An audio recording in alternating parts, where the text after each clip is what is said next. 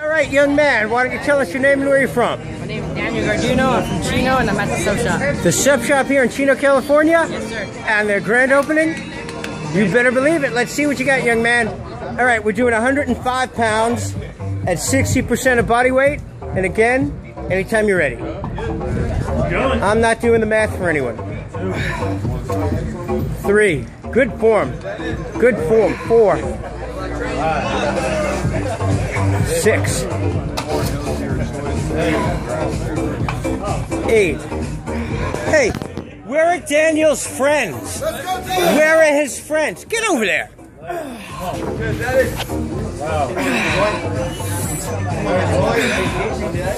Come on, baby boy, breathe. Let's go. Get at least 20. Get at least 20. Get at least 20. Let's go, kid. Let's go. 15 years old. Show what you got. You 15. Let's go.